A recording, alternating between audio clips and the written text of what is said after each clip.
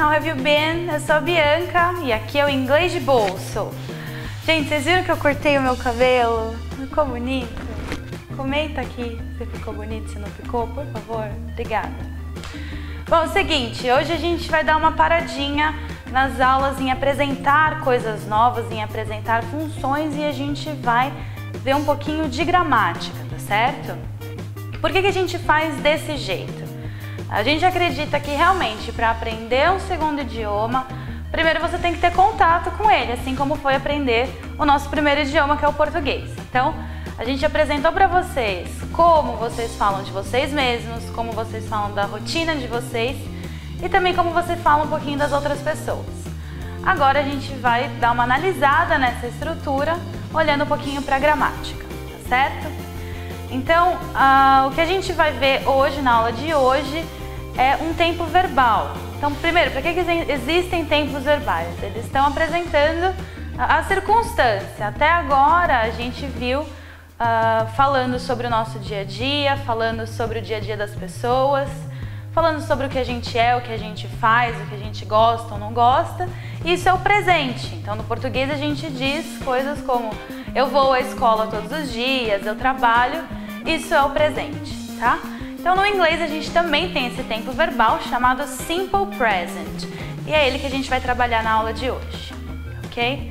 Bom, para começar a falar sobre o simple present, a gente começa falando sobre a forma infinitiva do verbo. Quem lembra o que é isso, né? Os verbos no português terminam todos com R. Já parou para prestar atenção? Fazer, falar, navegar, curtir, gostar. E no inglês, esse R não existe, então o que existe para eles é o to que vem na frente. Então a gente tem os verbos to like, to study, to work, to be, tá? Uh, ah, Para fazer então o presente, a gente precisa de três noções. A gente fala as coisas no afirmativo. Então, eu gosto de rock, eu curto rock. Uh, a gente pode falar no negativo, eu não gosto de beterraba. E a gente pode fazer pergunta. Você gosta do inglês de bolso? Você segue o inglês de bolso? Tá? Então a gente vai olhar para esses três tipos de frase, começando pelo afirmativo, para dizer eu curto rock, eu gosto de rock. Como que a gente vai falar? É muito simples, vai colocar I like rock. Não tem segredo, é só pegar a forma do verbo que a gente conhece. Para falar que você gosta, eu vou dizer you like rock. Nós gostamos, we like rock music. Eles gostam, they like, certo? Agora, quando chega no he e no she, que é essa terceira pessoa, a pessoa que está fora dessa conversa, dá uma mudadinha, tá? Então, para dizer ele gosta ou ela gosta, a gente tem que adicionar o S. Essa é a regra, e assim como todas as regras, a gente tem certas exceções que eu vou explicar no final do vídeo, certo? Então, ele gosta, o Fernando, he likes rock, ok? Para dizer ela gosta, she likes rock. É só adicionar o S, ok? Agora, a negativa. Para a gente dizer eu não gosto de beterraba, em português é só colocar o não na frente de todos os verbos, né? No inglês isso não vai acontecer. A gente não pode simplesmente dizer I know like beets. A gente tem que colocar o famoso verbo auxiliar do e juntar com o not. Então por isso que fica I do not like beets. Por que, que existe esse verbo auxiliar? Ninguém sabe. Aprender é uma questão de fé também.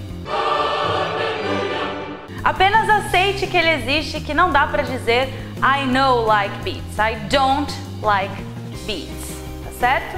Também para dizer você não gosta, para eu afirmar, pra afirmar que você não gosta é ótimo. Para eu negar, eu vou dizer you don't like, uh, nós não gostamos, we don't like, eles não gostam, they don't like, certo? Agora, quando é he e she, se eu estou falando de uma outra pessoa fora dessa conversa, mesma coisa, a gente precisa adicionar o S. Mas não é no like que vai o S dessa vez, não dá para dizer he don't likes isso não existe. A gente vai colocar então no auxiliar do. Então do vira does. Estão vendo aqui embaixo? Do vira does. E a gente botou um E aí no meio. Por quê? Por questões sonoras, sei lá. Tem o E aí depois do O, mas não é nenhuma regra nova. É a regra de adicionar o S na terceira pessoa, tá ok? Então, para falar ela não gosta, ele não gosta, he does not like, she does not like. Aí a gente junta, esse does not vira doesn't, ok? As perguntas, questions, como fazer perguntas em inglês. No português é bem simples, a gente só muda a entonação. Então, se eu afirmar você gosta de rock e mudar a entonação para você gosta de rock, eu já fiz uma pergunta só mudando a maneira como eu disse essa frase. No inglês isso não acontece apenas, a gente vai mudar também a estrutura. Então, para perguntar se você gosta de alguma coisa, a gente vai dizer Do you like? Tá? Lembra das perguntas é, para descobrir onde a pessoa trabalha, o que ela faz, onde ela mora? A gente já estava usando esse simple present.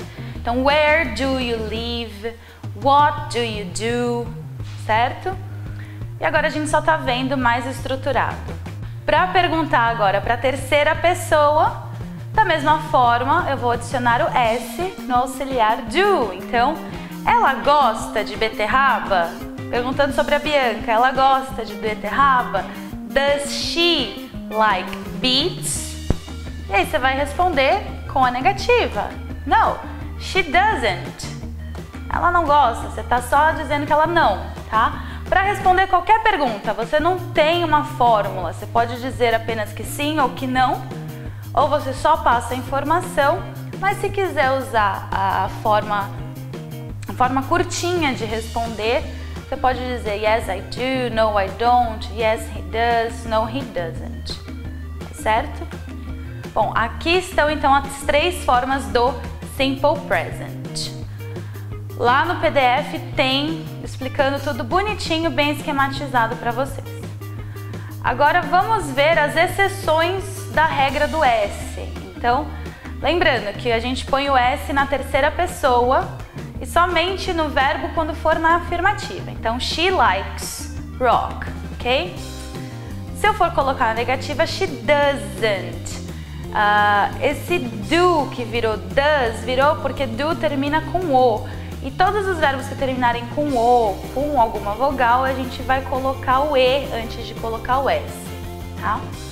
Então a regra básica é adiciona s, se terminar com o, coloca um e e um s. Outros casos que a gente põe e e s também, se terminar com h. Então watch, wash, push. Todos esses verbos terminam com H, a gente precisa colocar o E e o S para fazer a terceira pessoa, ok? E tem aquele do Y também, né? Então, o Y tem dois casos. O verbo study, por exemplo, quando for fazer terceira pessoa, a gente vai escrever studies, tem que trocar o I, o Y pelo I, certo?